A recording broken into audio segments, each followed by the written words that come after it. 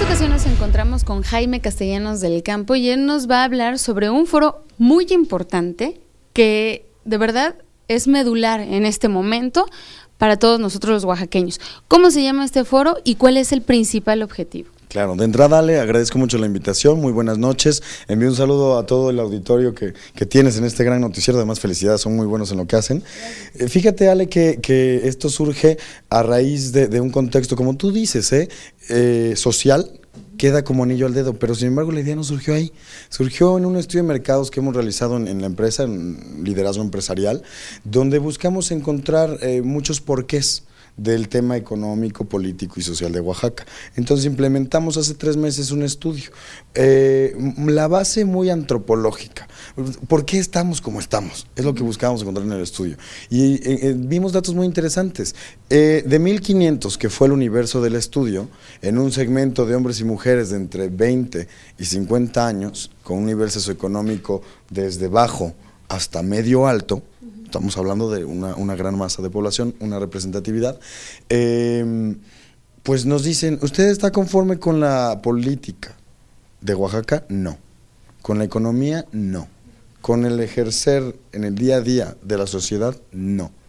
¿Usted se capacita? No. ¿Usted lee? No. ¿Usted se queja? Sí. ¿Qué hace para cambiar las cosas? Y cuando llegamos al qué hace para cambiar las cosas, en una pregunta abierta, el resto es opción múltiple, no contesta el 90% de 1.500 encuestados. O sea, estamos buenos para criticar, pero no estamos buenos para cambiar o movernos, hacer cosas. Efectivamente. Eh, me recordó cuando decidí poner un cuadro detrás de, de mi escritorio en la oficina que dice bienvenidas todas las quejas y sugerencias. Y normalmente los nuevos, los que traen esa contaminación, a la semana de haber entrado a la empresa, entran conmigo a despotricar contra todos. Que eso lo vimos diario en el día a día en, Oaxaca y hasta en los medios, hay que decirlo, ¿no? Si le va bien, que le va bien, que porque le va bien. Si es mujer, se acuesta con alguien. Si es hombre, e, es, narco o hay influencias, ¿no? Si, eh, vamos, a, lo que sea nos hace daño. Como los cangrejos, en vez de apoyarnos, de empujarnos. Te va bien a ti, te bajo.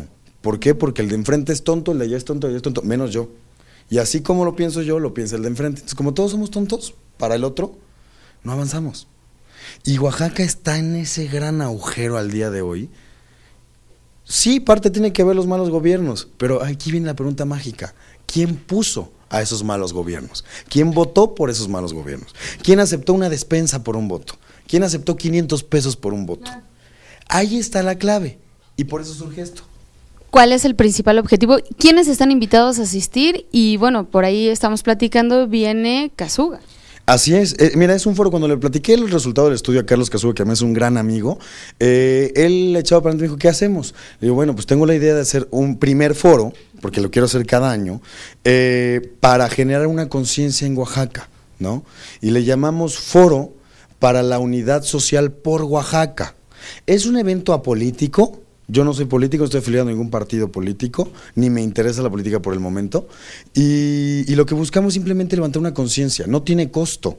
Nos está apoyando eh, el centro de, convenciones donde es la sede, el centro de convenciones Monte Albán, a un costado del Álvaro Carrillo, atrás de Canal 9, eh, con la intención de que de verdad los oaxaqueños podamos escuchar y darnos cuenta que estamos haciendo las cosas mal. Los ciudadanos, la política en Oaxaca va a cambiar cuando tengamos mejores ciudadanos. Un mejor ciudadano no vota por un color de partido, un mejor ciudadano vota por el personaje y más listo todavía por su equipo, porque el líder solo manda, quien ejecuta y generalmente donde las porquerías suceden es en el equipo. Ese es un ciudadano consciente y cuando tenemos ciudadanos conscientes vamos a tener gobiernos conscientes. Eso buscamos con este foro, despertar eh, una conciencia en el uno a uno. Ya es pasado mañana, Miércoles, 9.30 es la cita, tendremos como padrino efectivamente a Carlos Kazuga, eh, quien no lo conoce es un México-japonés, eh, presidente y fundador de Grupo Yakult, un tipazo, y el mensaje está abierto, de verdad, desde niños abuelitas, este, viudas, casadas, solteros, divorciados, es como la coca, al chiquito, al grande, al bajo, para todos. Todos tienen que entender el mensaje. Vamos a ayudarnos. Si te va bien a ti, Ale, en consecuencia me va bien a mí. Si hacemos que haya dinero, va a haber dinero para todos. Si dejamos de pedrear al de enfrente, en, en el gimnasio las mujeres hablar mal de la que está haciendo ejercicio enfrente. ¿Sí me explico? Cosas tan sencillas. tan básico como respetar al peatón y el peatón respetar al automovilista, Oaxaca va a cambiar. Y el mensaje es ese, Oaxaca va a cambiar porque los buenos somos más. El problema es que los buenos nunca nos hemos juntado. Los malos sí están allá, ¿no? Ya sabemos dónde. Cuando hay, cuando haya 3 millones, que Oaxaca tiene en el último censo aproximadamente 3 millones 300 mil.